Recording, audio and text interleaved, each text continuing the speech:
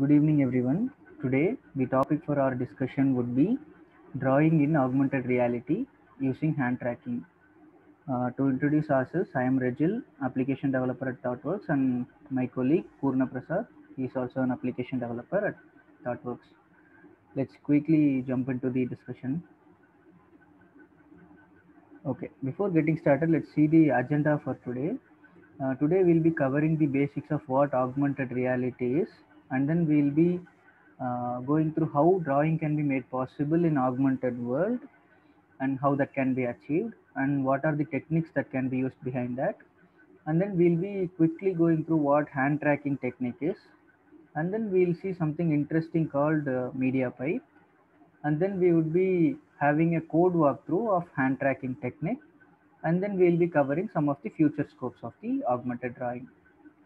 Without any delay let's get started okay.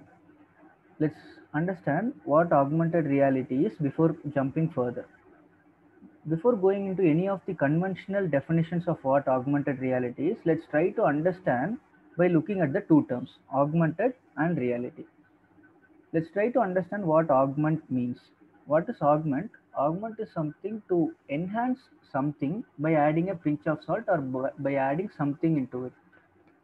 Enhance or better the uh, you know better the experience of something by adding something into it. So what are we adding into it? The reality. So what augmented reality basically means? The reality which means the perception that you see with your naked eyes can be enhanced further by adding something on top of it. Now let's try to understand what the conventional definition of what augmented reality is augmented reality is a is an experience is an interactive experience of our real world objects. When i say real world objects the objects that we see with our naked eyes the the the fellow beings the fellow uh, every every object that you see around it all are the real world objects. Those real world objects and we would be seeing some perceptual information. When i say perceptual information virtual objects which cannot be seen with our naked eyes but are laid on top of the real world objects by the use of technology. This technology is known as augmented reality.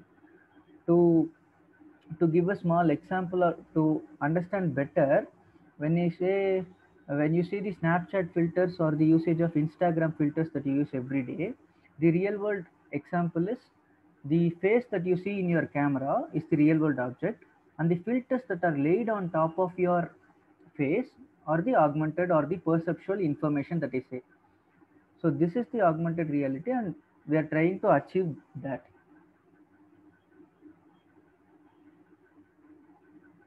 Okay, let's come into the topic. How to achieve drawing in augmented world. So that is the crux of the topic today, right? How to achieve drawing in the augmented world. So that can be achieved by combining two different techniques and that that will don't worry that we'll cover later in the upcoming slides.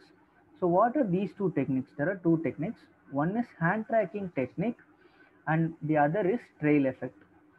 We don't worry we'll cover about these two topics in detail in the upcoming slides. So what are we trying to do? When i combine the technique of hand tracking and combining the effect of trail we are achieving augmented drawing.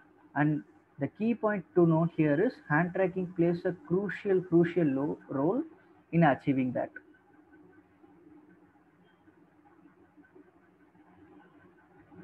Okay, let's try to understand what hand tracking is basically. Hand tracking is a technique, it is self explanatory, right? It is a technique to track your hand. How it is achieved? It is achieved by tracking the consecutive positions of your fingers. So, all the five fingers in your hand like combine together to form your hand right? So what it does is it lays some points on your hand on each of your fingers which in turn will be tracked and then all those points combined together and tracked which eventually gives tracking of your hand. That is how hand tracking technique works. Uh, in the upcoming slides purna will explain in detail of how these these points together work. And this technique is a very very important technique which enables users to uh, make use of your hands as viable inputs for several devices as well. In the previous in the previous era you would be seeing remotes and other means of uh, input mechanisms keyboard mouse as the input mechanisms. In the future era it is all about your hands nothing else. So it is interesting right? Yeah this is how hand tracking is very important. And moving forward there are different ways to do hand tracking. The technique is one but there are different ways to achieve that. There are three different and more common ways of doing that. The first method would be Haar cascade way. What is that this method is primarily used for face recognition and technically speaking this method makes use of machine learning for extracting data from your hand or face or anything for that matter and then put those data into XML files and from that XML files you can extract data out of it. Let's not go much deeper into it because we are not going to make use of that technique because it doesn't work well for hands because it hands are delegate structures which doesn't have a fixed form like face. This as I said earlier this method is most commonly used for face tracking which is static in nature when i say fans uh, when i say hands it has very delicate structures like fingers and it is difficult use, using Haar cascade way to track each of your fingers so we are so Haar cascade way is ruled out. When we come to the second uh, possibility of achieving hand tracking is contour way. There are several advantages of using contour way. One of the major things is it is easier to implement and it is definitely straightforward. And technically speaking it makes use of computer vision to achieve that. And how it works it gets the it scans your hand. It gets the image of your hand. And then it finds the area which matches skin color. When i say which matches skin color everything in computer vision works on identifying the color ranges right? Our skin has specific color range and this range is mapped by the contour way and it tries to recognize which part of the image matches with the skin skin range range of colors and this technique we are not going with it because this technique won't be suitable on a changing environment when i say changing environment it tracks our hand using the color range right so on a changing environment when i say changing environment it uh, when i say it is even in our um, darker conditions or a moving environment, it, it is difficult for it to track your hand. And that's the reason we are omitting this way as well. And the third different technique to do hand tracking is neural network way. And as I as it is highlighted in the slide, we are going with this way only. There is a one fallback of this way, which is it is computationally expensive. When I say computationally expensive, it has it has lot of internal computations per frame which means it, it, it does lot of computations and uh, calculations. When when you say neural network you automatically get it right? Because it makes use of machine learning and lot of computations in the background right? That's why it is computationally expensive but we are going with this way because it is highly highly stable. And that's the only reason we are going with neural network way. And in a while we'll see how to implement that as well.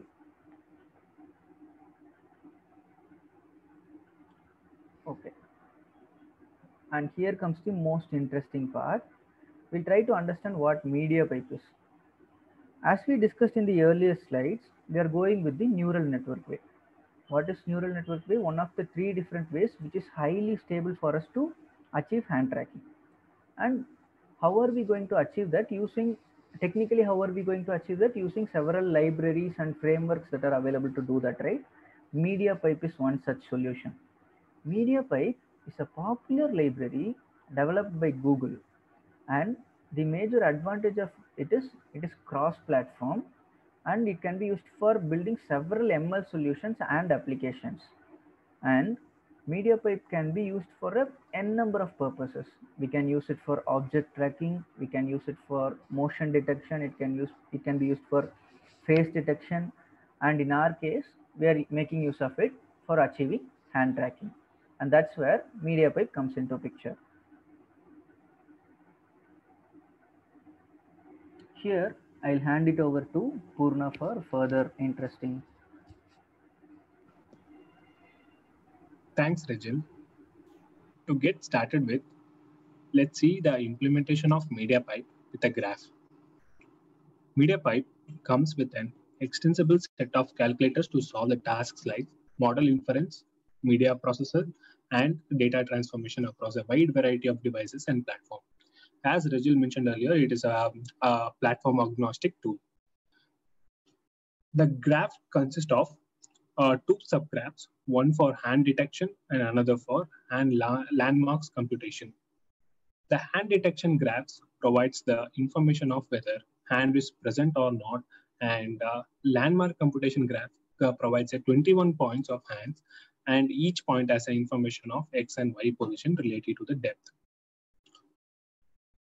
One key optimization that uh, MediaPipe provides is that palm detector like this palm detector first uh, graph uh, only runs as needed saving a significant significant amount of computation as Rajil mentioned earlier like um, this uh, neural network process is a computationally uh, expensive process so we have to save uh, as much as we can yeah that's uh, enough of the theory let's dive into the code to get started with MediaPipe, the first and foremost thing that we need is MediaPipe AAR. AAR is nothing but the Android library that we can use as a dependency for other app, uh, Android modules. This is the official website of MediaPipe, which clearly demonstrates how to build MediaPipe AR and includes its dependencies. Here, they have mentioned the uh, how to build AR for face detection Instead of the face detection, we have replaced with a hand detection name and we have built the AR. This is a simple process. You can follow the same process to build the AR and get the dependencies. And they have already mentioned uh, how, uh, how to include the dependencies that is needed for the MediaPipe library. We have followed the same steps. Yeah. The media, let's jump into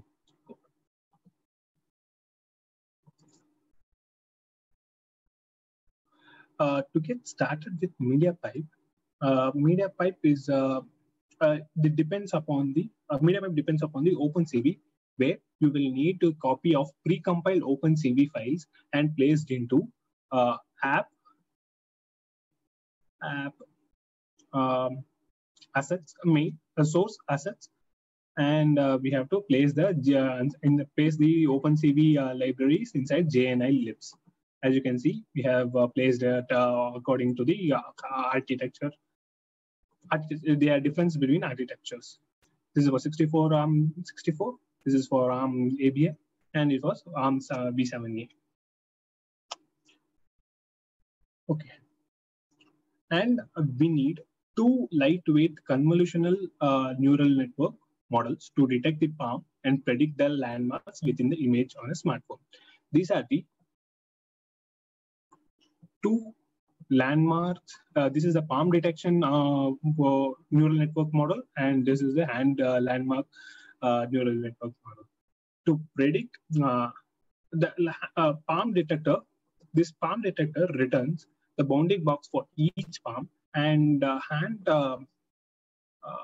hand landmark model predicts the key point for each hand and um, gives the 21 landmarks here TF Lite, uh, TF Lite represents a TensorFlow Lite model, which is trained with a large number of data sets, where the data sets here is the um, different poses of the hands. Why we are using the Lite model? Uh, since it is run, uh, since it runs on the uh, uh lower end, like lower computational processes like uh, mobile phones, uh, devi AR devices, so we have to use the Lite models. See, jump into the code. This. Get started with these are the main uh, variables that is needed for initializing the um, uh, media pipe uh, library. We, we uh, the library, we uh, initiate this library AS and OpenCV library that we mentioned earlier using this system.load library. We are uh, in, loading the library like this. These are the six variables, which is very important for um, getting the desired outputs. Let's go one by one. We need the surface texture where the camera preview frames can be accessed. We need surface view that displays the camera preview frames processed by the media pipe graph. EGL manager it uh, helps to create and manage the instance of OpenCV like oral, uh, sorry, not OpenCV, like uh, OpenGL uh, context. Frame processor. It helps to send the preview uh, preview frames into the media pipe graph of for processing and display the processed frames into the uh, display or a surface external texture converter where uh, it helps to uh, convert the uh, uh Android uh, camera frame textures into a regular texture uh, that to be con consumed by the media pipe graph. Camera X helper helps helps in handling the camera permissions, um, camera opening, closing, sending the getting the frames. that all uh, that is managed by Camera X Preview helper let's go like so like let us understand why uh, how these uh, six variables are looped. Uh, with the help of the camera x helper we uh, it requests the permission for the camera and it accesses the camera to uh, get the images or uh, textures of the hand. The surface texture um, gets the like um, gets the hand texture preview frame texture of the hands and it sends um, it is converted as a uh, simple like a regular texture uh, that to that's to be con consumed by media pipe graph. And the uh, frame a frame processor helps to send uh, send those uh, textures that is uh, coming from the regular texture coming from external texture converter to the media pipe graph. And it is processed and uh, the results are results are displayed in the surface view texture. Surface texture. Sorry uh, surface view where the uh, it displays the uh, camera preview frame processed by the media graph.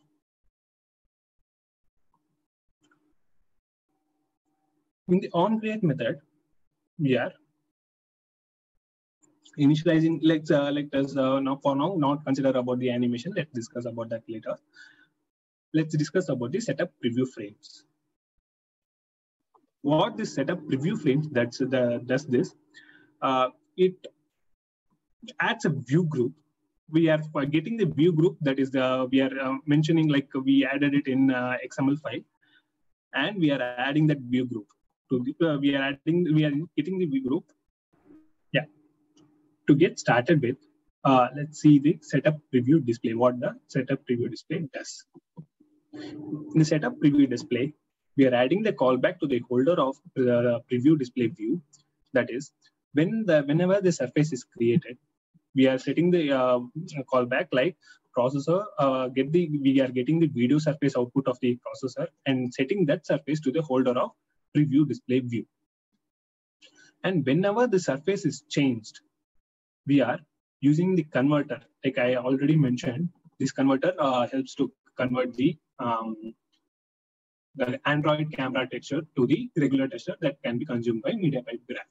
This converter uh, set the, uh, helps to set the uh, surface texture and attach to the GL context, where this preview texture is the uh, preview frame texture is the direct uh, Android camera texture.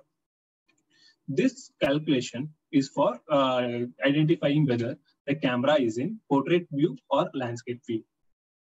When the surface is destroyed, uh, we are setting the video surface output of the processor to the null. Yeah. Let's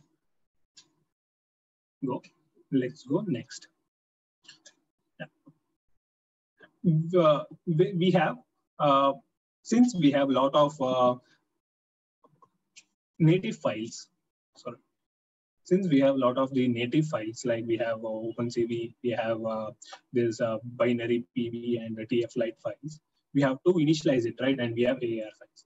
We have to initialize it, right? So initialize the native asset manager using the uh, Android's library called uh, Android Asset Util. We are initializing the uh, processor using the new frame processor and uh, the output of this, this processor is uh, flipped in the uh, y direction. So to, to uh, we we we are not deciding getting the mirrored output, right? So we are deciding getting the uh, normal output. So to get the normal output, we are setting the flip along the vertical direction. This we are uh, adding a callback to the processor for two callbacks to the processor. One for detecting the whether the hand is present or not. Where the first first callback is output hand present stream name. like uh, where whether it gives whether hand is present or not. The packet dot get uh, get bool sorry. Yeah, packet dot get bool. We are getting the boolean whether the uh, hand is present or not. As I mentioned earlier, this uh, this callback is not uh, run for every frame. Uh, as I mentioned in the graph, it runs whenever it needs. And and this is a crucial uh, callback where it we are getting the 21 normalized landmark list, 21 landmark list, and it tracks whether whether uh, when I move the hand in real time, it uh, puts a like a tracking like green and red color uh, presentation like web like presentations in our hand. It augments the uh, tracking uh, data in our hand. This is the crucial uh, callback that we need then we are uh, obviously we have to check the permission like we we want the camera permission we have to access the cameras and all. And here is the where, where uh, each and every time we started like uh, camera helper I told right? Camera helper helps to get the um, each and every frame of the camera and set it to the preview frame texture. We're sending this preview frame texture on surface change. Now I think you got the flow let's after this after this uh, we should be able to see something like this is the basic like uh, this is the out of box that provides from the media pipe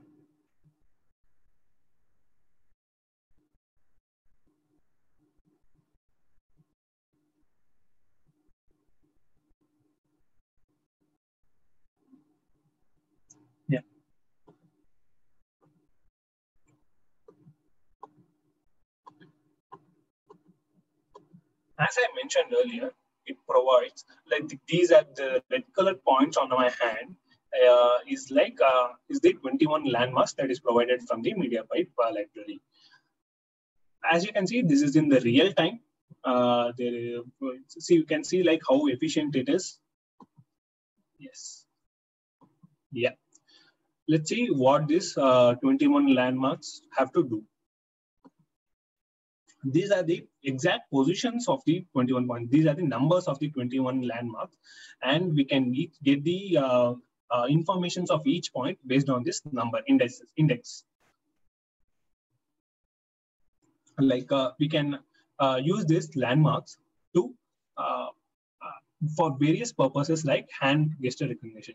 Let us see how hand gesture recognition is we can achieve by this landmarks. Let's say uh, we are uh, fixing pseudo fixing this uh, point two, and we, we are getting the x and y position x position of point three and point four. If the x position of point three and point four is greater than point two, it means the thumb finger is open. Am I right? Yes. Let that, that is the same logic that is implemented here we are getting these landmarks, as I mentioned, I show you. We are uh, getting these landmarks normalized landmark list. And we are passing this landmarks to the recognize hand gestures. Let's see what is this recognize hand gesture does. this, like as I mentioned, like we are fixing for to to see whether the thumb is open. Let's see the logic. We are fixing the pseudo fix key point as point two. The landmark dot get landmarks of point two, and we are getting the exposition of the point two. And we are checking whether the uh, ex, uh, exposition of point three and exposition of point four is greater than the pseudo fix point. If it is greater, it is obviously like we can uh, uh, arrive at the uh, solution uh, conclusion like the thumb is open. This is the same logic for every other finger. Why we are getting this uh, each and every finger to uh, uh, identify some gestures.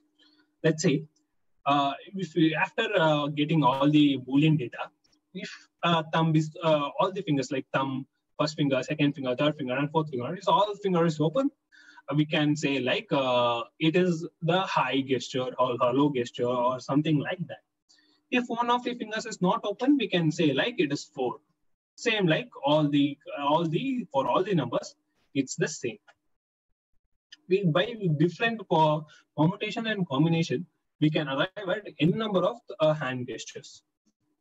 Like there is a small demonstration how uh, like what can be achieved using the uh, uh, this media pipe graph.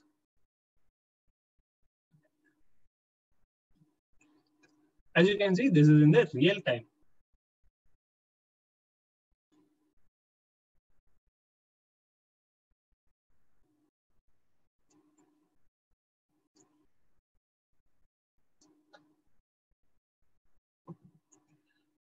Yeah. If you wonder what are these animations are like uh, this is cool animations are this is the lottie animations that uh, that is provided by air, Airbnb. We can use this animations like uh, i can show you.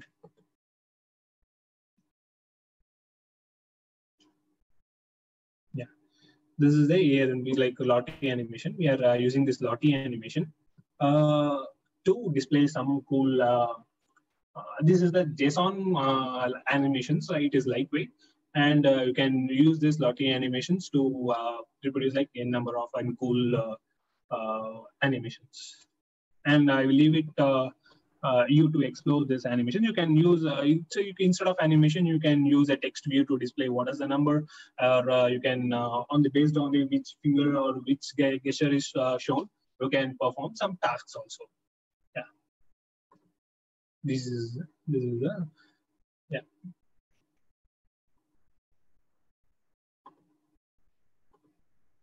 I give it to uh, Rajat for further uh, discussion. Thank you, Purna. Yeah.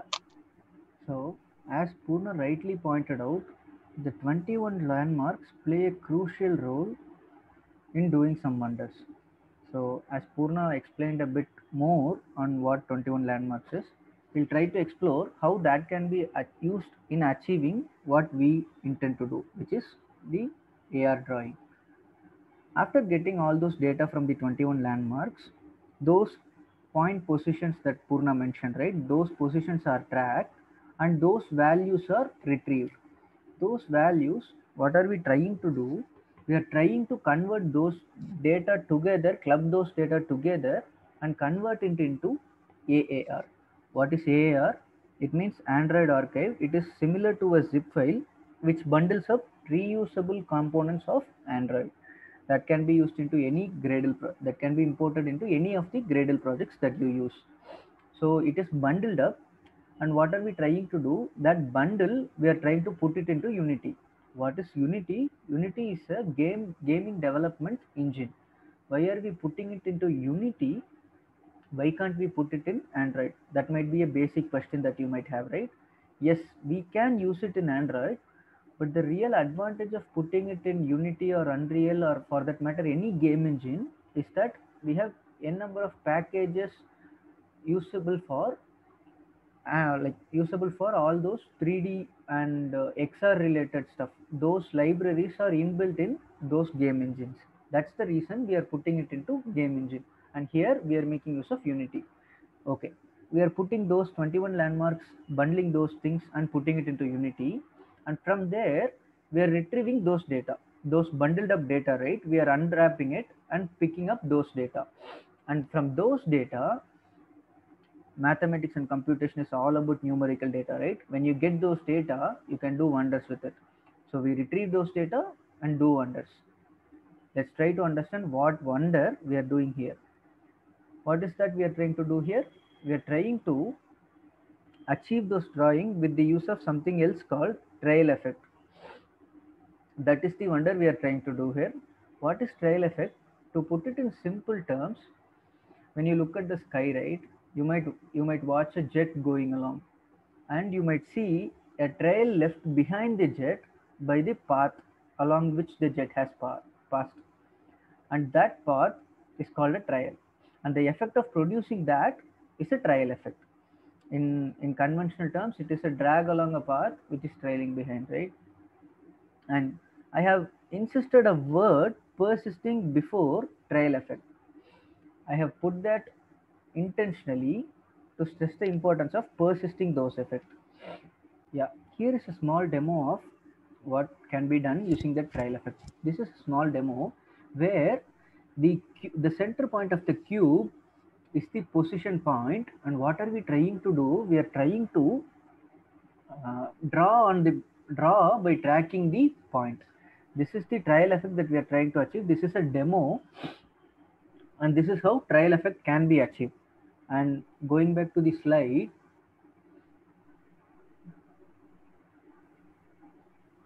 so how are we uh, how are we trying to achieve the hand drawing? By combining these two things. One is the hand tracking technique. By using that technique you achieve those 21 landmarks that purna has mentioned rightly. And then using those points how are we doing drawing those? We get those points track those points and draw along the path on which those points travel. That is how air drawing is achieved. By these combining these two techniques, I'm insisting the word persisting here because we are not going to erase those drawings, right? Because after a, after a certain period of time, trial effect would be gone, gone, gone out of air, right? So that's why we are trying to persist the path along which the trial has happened. So that is why persisting trial effect is the technique that we make use of here. By combining these two techniques, we are trying to achieve air drawing. Let's try to understand some of the future scopes of air drawing. AR drawing could be extended for variety of use cases. Let's consider in the pandemic situations as of now, it can be used for you know online classes for students and in online conferences in trainings let's say you are a coursera addict or any online training addict, it, you might have noticed that it might be difficult for the trainer to switch between his uh, his video and to the uh, screens and it would be difficult and imagine a situation where he will be drawing out of nowhere and you might be able to understand everything it would be amazing right that's where ar drawing and something amazing out of xr comes into picture so AR drawing can be extended for a wide variety of purposes and some of those are listed here. And also we have seen about one important technique, right? Hand tracking. That hand tracking technique can be extended for many techniques. As Purna mentioned, we can be extending that for gesture recognition, which can be used for, as, as we mentioned earlier in the session, it can be used as an input as well, viable input for XR devices as well. And also we can be develop several cool features out of it. Yeah we have that's it for now.